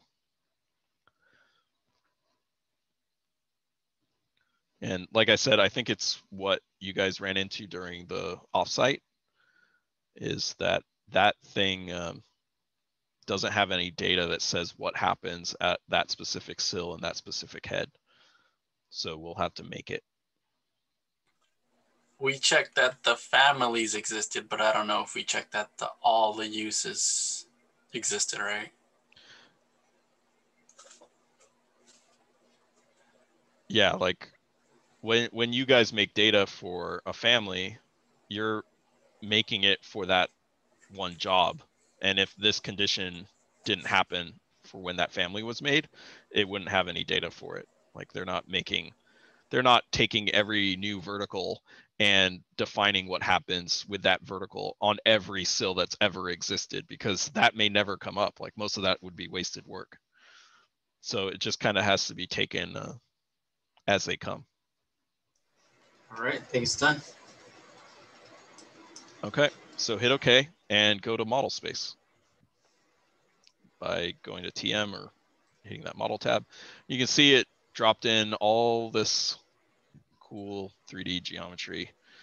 And you can uh, use your view cube or something like that to, to view it. It has notches where it knew what to do. So like on the vertical, you'll see notches. Can you change it up here to, uh, yeah. I like wireframe, but I understand most people don't. So yeah, you can see it came in with notches and those notches were made by Pedro on a fab template. So if you click on that vertical,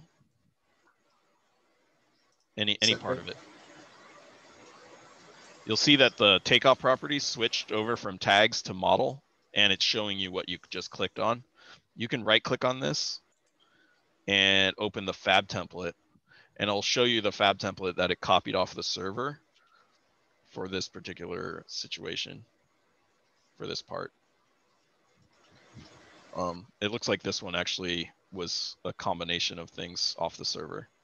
So it generated this fab template based on what's on the server and it has that, has that notch in it. It's the same notch. Um, has some gaskets, some attached parts. All that's kind of done for you automatically. If we were to add a notch into this fab template, then it would also appear into in the um, into in the unit drawing, and vice versa. If you add a notch, uh, and we'll do that if we get if we have enough time. I don't think we will, but if we have enough time, you could draw a notch in either either here or the unit drawing, and it will appear in the other to keep them coordinated. All right, go ahead and close that, Gabe.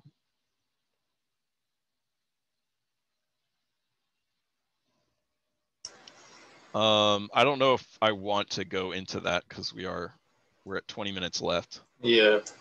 So uh, we can get something in there very fast though. It may it won't be right, but it'll be there at least. You want to do that? Yeah, we got 20 minutes, 15 minutes. So I say go do it to- last. I say let's do it now. I think it's more important than some of this other stuff. It's all optimized and clicking buttons and waiting. Um, so open up, go to the project details, so we can see what our data is, and go to that vertical, which is this uh, these two, right? It's the male side is the one that we're dealing with on that one. So what these all mean is um, sorted by part use, so it's a little clearer. So, and I'm going to start down here with oop, with vert 138 because that's where our um, that's the name of our tagline. If you go back to the takeoff properties window um, and go to go to tags up here, that male vertical was this one down here, vert 138. So in investigating this, I see I have this detail with this name, and I do have that in my project details. So go back to the UD window. It is here, but what's being taken off with that? Nothing down here. Um, but there are, there's this whole other level to this called rules, which are these blue things over here on the right. Um, so if this vertical is running from this tagline to this tagline, it's gonna do, it's gonna, oop, don't move your mouse too far away. Uh, it's gonna do this use. If it's this tagline to this tagline, it's gonna do this one, the data under this use. So it kind of takes one tag name, which is easy-ish to type, and depending on what's around it, it will do different data things depending on what is happening. So um, we need to make one that that is named after the sill and the head that we have in question here. So I'm just going to cop, we're just going to copy a couple of these to do it very quickly. Does that sound good? Let's copy this one for the head. Right click on that, copy, and paste it down here. And then we'll also do this sill, the one that I have my arrow on. We'll just copy that one because it's sill to sill.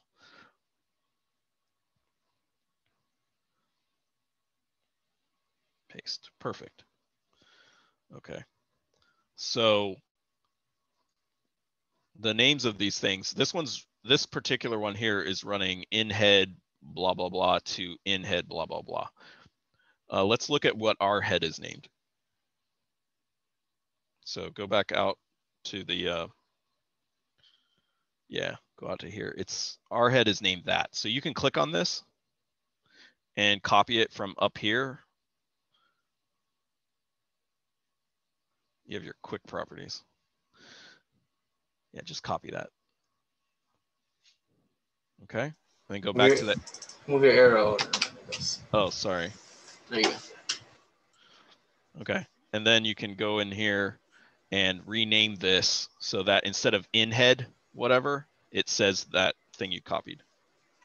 I did a, I did a right click copy, so Well, you don't have to right click copy now. When you're doing the text, you can just do control C, control V. It's only when you're doing the whole row. So you should be able to control V right now. Yeah, there you go. And change the other one too. Sorry. It's it's there twice. Yeah. Take the dash. You want to keep the dash. Yeah, just like that. Perfect. And then we'll want to do the same thing for the sill. So look at the sill. Yep. Go look at the sill name. Uh, that's the sill. There's a couple other things that are also on that detail, but that's like the face stop. That's what FS stands for, face stop.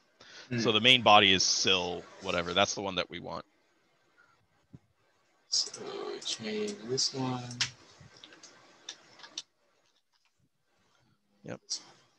So now the takeoff program in this window has data for what happens when this vertical is running head S250V to head S250V or running that sill, whatever, I can't read it, it's too small.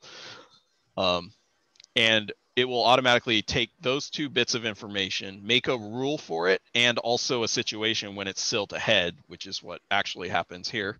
And we should get a mark number coming out the other side. Now, the notch for that mark number may be wrong right now. Um, the notch at the head may be wrong. Like all some of that stuff, it may be the wrong length. Some of that stuff you want to change it?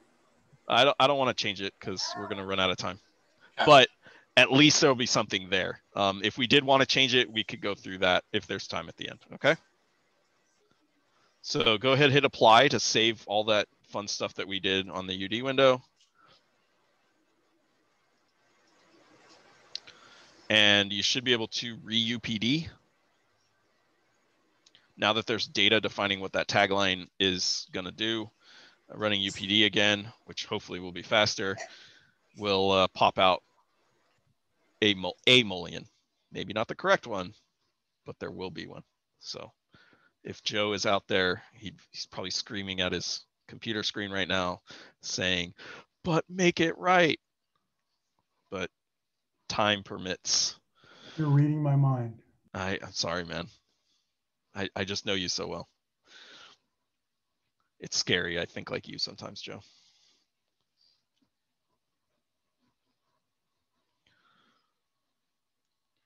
Hopefully this one won't take five minutes. Benedict Katana had a question. What about access holes and clear holes? Um, depends on what the access hole or clear hole is on.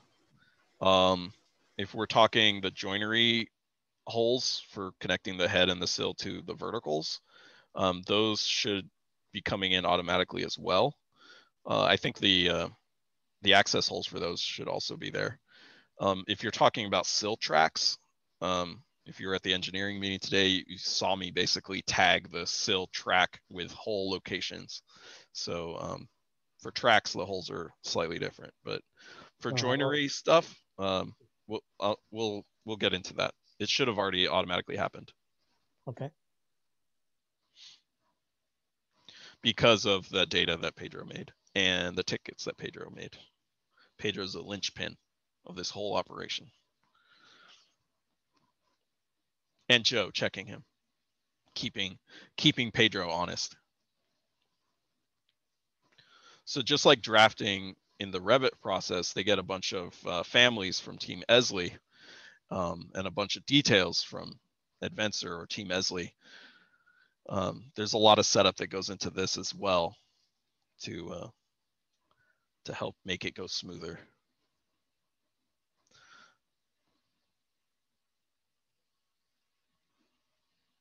Yeah, this is just going to take a while because it's on the server. Maybe should have copied it over. Should have. It's painful. I can't watch.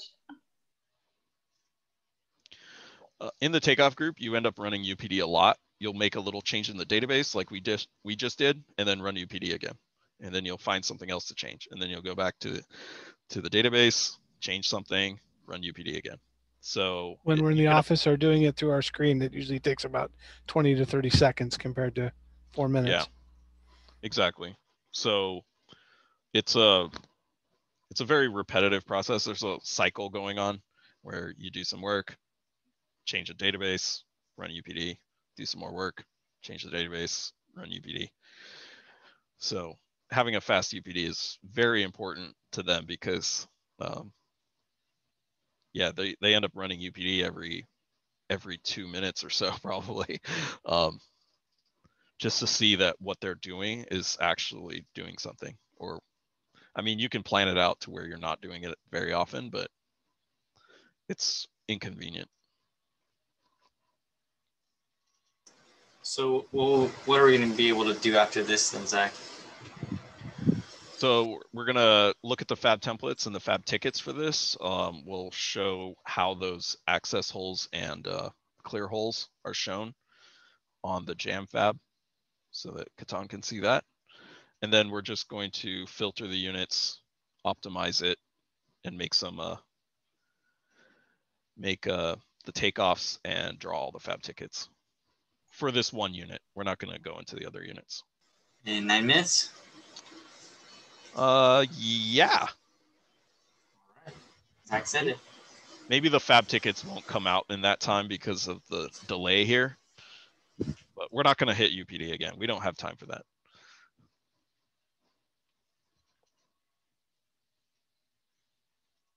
and if this the last one took five minutes and 30 seconds this one looks like it's going to take five minutes and 30 seconds so any other questions about this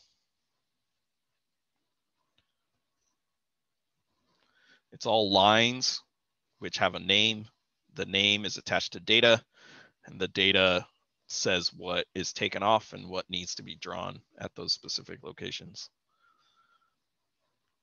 Okay, that one did go a little faster, not much though. All right, so now we have a vertical there. Doesn't have the right notch probably, um, but at least there's something. And it's probably in the right place. Oh, and our sill does not go through it. That's good.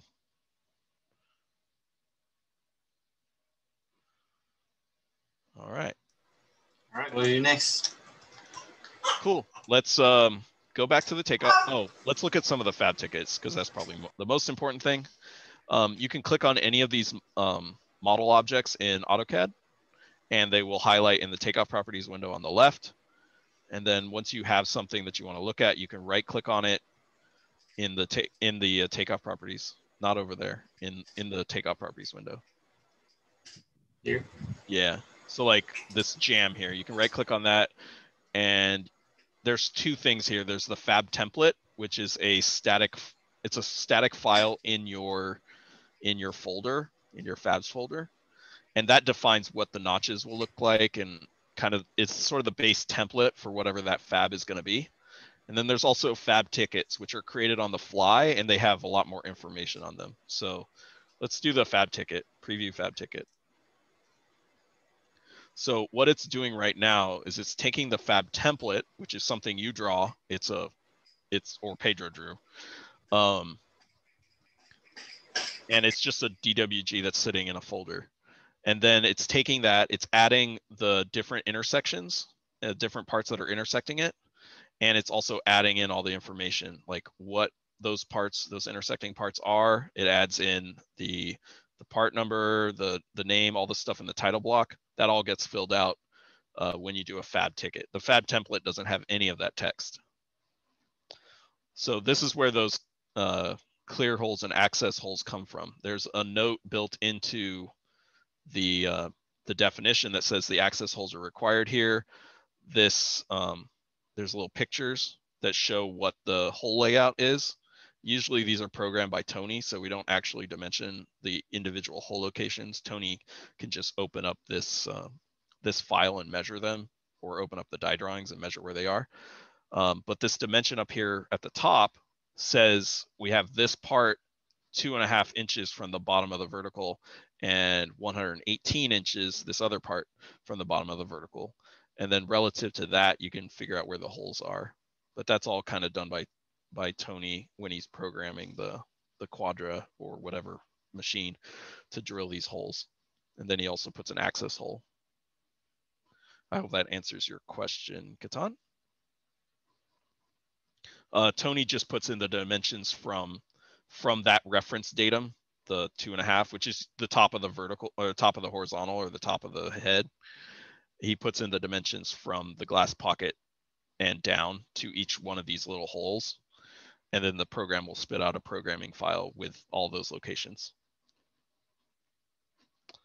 Um, but yeah, this this fab ticket is sort of a, this is what the shop will get in the end um, so the takeoff group can look at these and make sure there's no like lines intersecting each other. These are all composed on the fly when it's asked.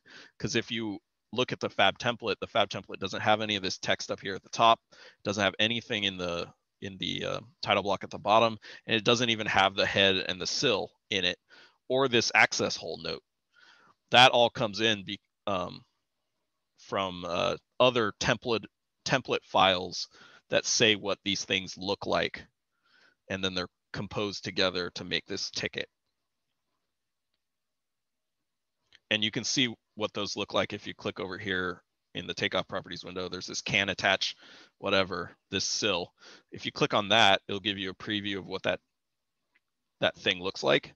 It has a model space sill and it has this uh, and it has the uh, access hole note that goes along with it. So this drawing, these two drawings, the paper space and the model space part, um, get added onto this fab ticket to produce this final picture here at the bottom and up here in paper space. So these are all on the server made by Pedro. If you have to make one of your own, um, you have to do stuff, but we're not going to go over that. Yeah, you can right click on almost all those things in the takeoff properties window and see different things different things you can do you can edit those pictures if you need to and that will change it for all fab tickets that use that same picture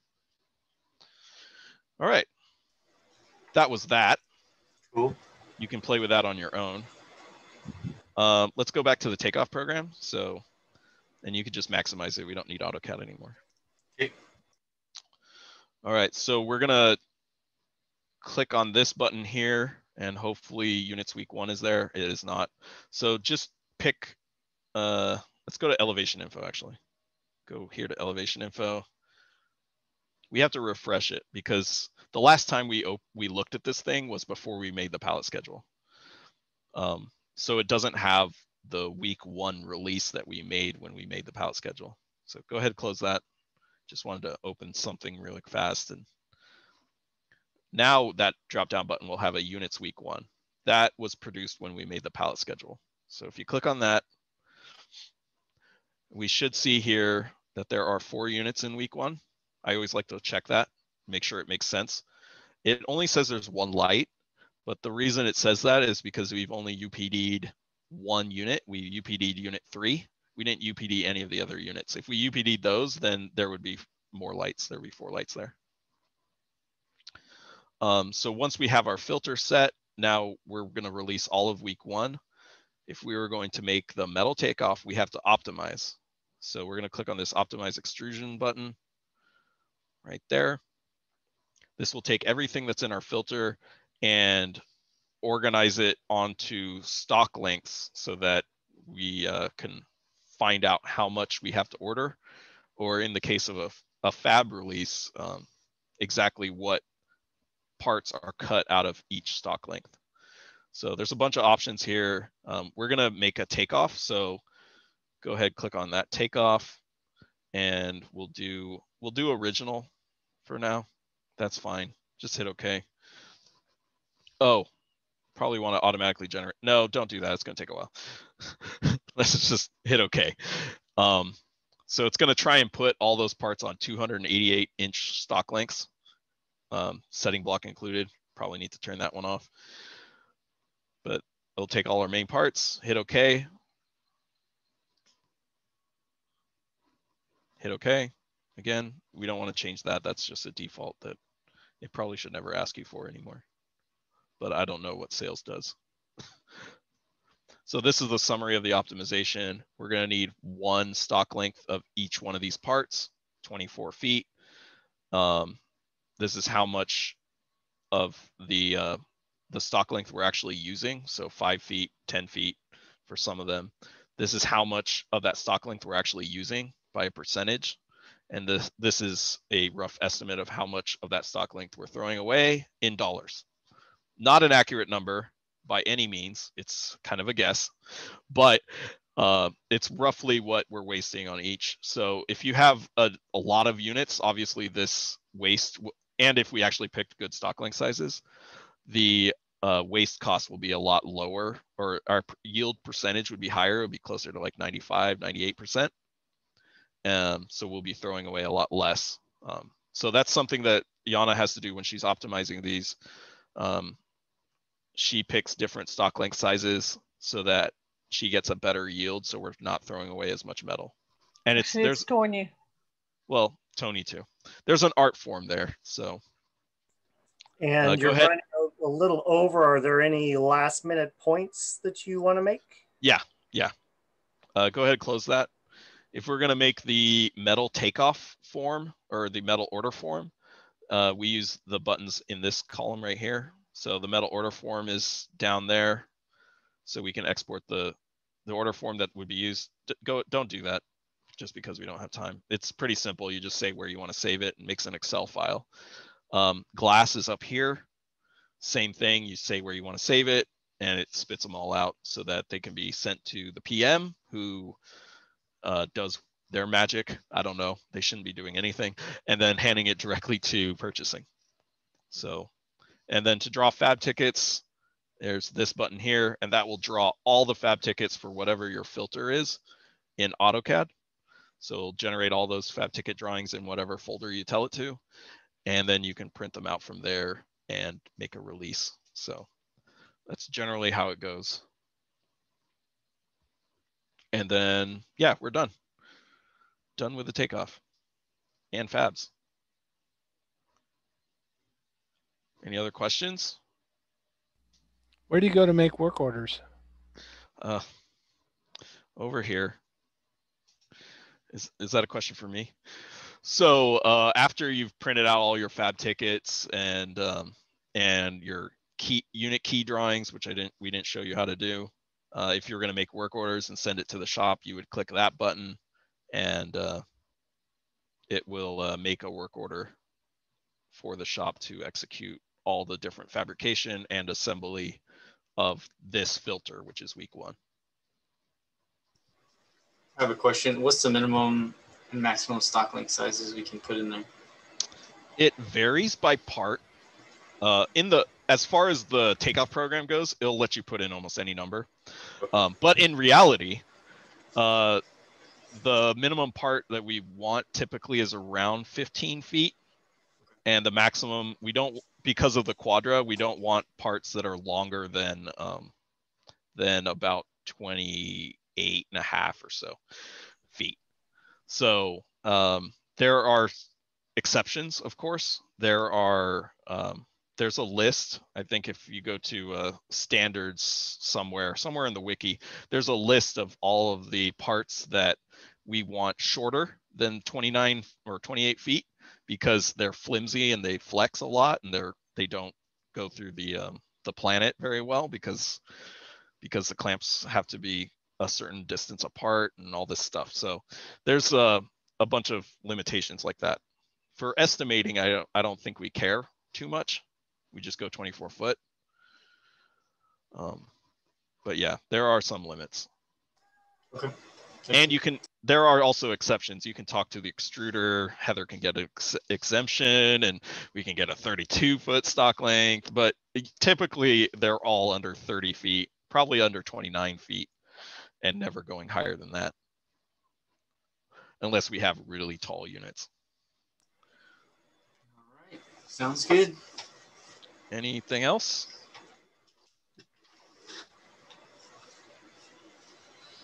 All right. I think that's it. If you guys uh, have any other questions, let us know. Hopefully this helped and hopefully answer some of your questions. You can always go back when we post the video and walk through it as well. Yep. All this should work on your own computer. I suggest having it on your hard drive though. Yes. All right. Thanks a lot, guys. Okay. Thank you. Thank you guys. Thanks, guys. Zach. Gabriel, thanks. Thanks, Zach. Thanks, Gabe. Oh Thanks, guys. Good job, guys.